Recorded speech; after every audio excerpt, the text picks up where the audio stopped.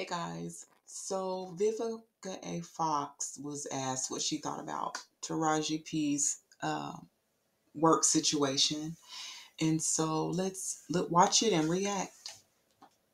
We want to know, do you feel like um, now is the perfect time to have the conversation that Taraji kind of continued over Mo'Nique? You know, you're an actress, you've been out there. Is this the perfect time to kind of talk about that in the right platform? You know, darling, to each his own. Do you know what I mean? I'm very happy, very blessed, and uh, to each his own. I didn't have that experience, so you know, but to uh, get your piece out is important. I totally understand that, and uh, I love my girls for looking out for each other. But uh, I'm good. Okay, so we saw that. Um, what do you guys think about Vivica's statement? A lot of people are upset that Vivica didn't uh, sign on to what Taraji was saying, her complaints about pay. Um, but I I really think that um, I think Vivica's situation is different than Taraji's. I think her experience is different. Um, and the reason I say that is I've never heard Vivica complain about her pay. Never, ever, ever have I ever heard that. If she if if she had complained before and then didn't support her, then I could see I could see people being upset, but I've I've never heard her complain or anything about it. And uh, you know, yeah, there's pay disparities, but she may feel like she's getting her worth. She may uh have a good negotiator. She may um she may turn down deals because maybe she feel like they're not worth it, but maybe she hasn't. Um I don't think she has because I, I like I said I've never heard her complain. So and you know, this whole jump on a bandwagon thing because it sounds good um you know yeah yeah there's disparities but i you know i also feel like where is taraji's responsibility in this too because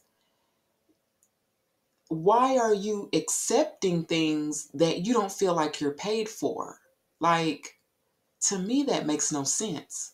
Like why would someone need to treat you better if you just go ahead and work for less than what you feel like you're worth?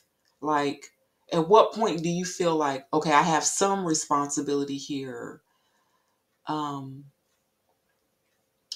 i mean it's like to the point where she's crying and i'm just like i guess i i guess i quite don't understand um because she is a millionaire. Um i think she's worth about 12 or 15 million. Now whether that money is just in all in assets and it, she really doesn't have any cash i don't know. I don't know her financial situation.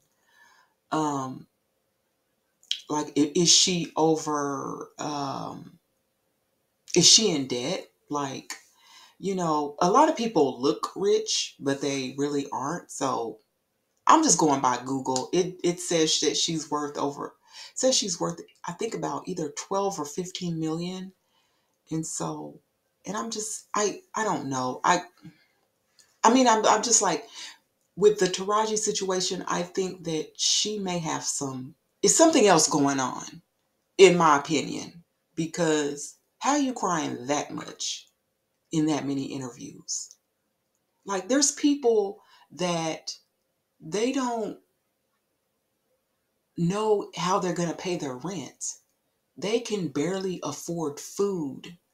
I know people that can't pay their phone bill that can't that have to put their medical care on credit cards they can't afford it y'all and you're crying uh, because you you you're making millions, but it's not enough millions.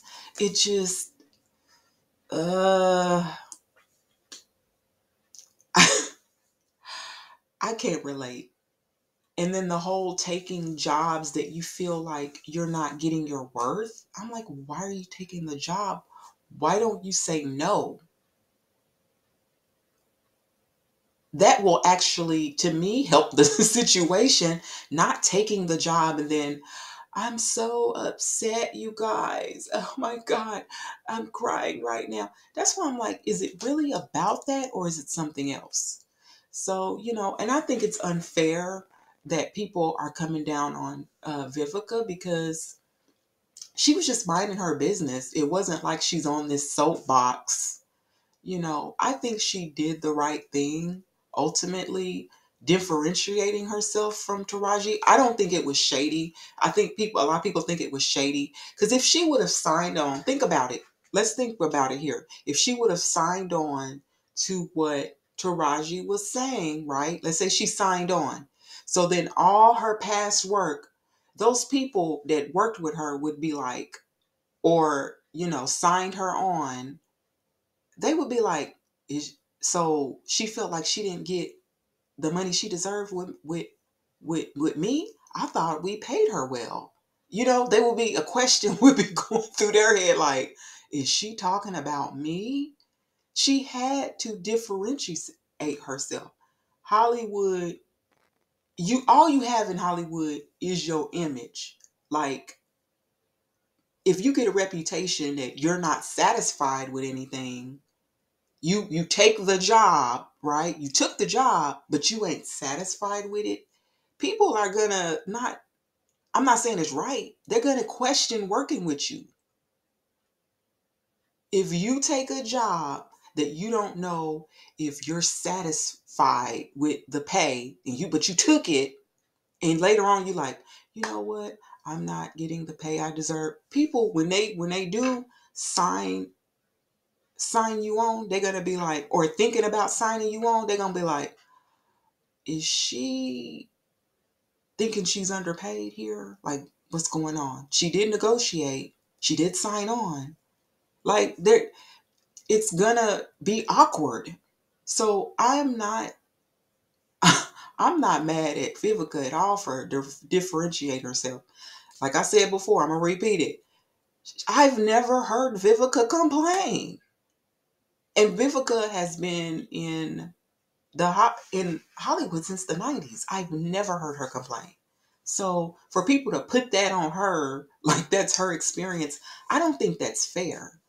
And she wasn't on some soapbox. They asked her.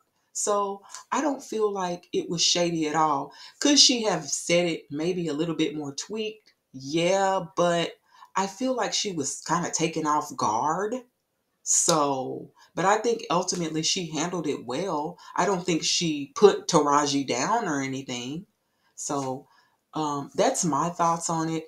Y'all tell me what you guys' thoughts is on this whole situation. Um,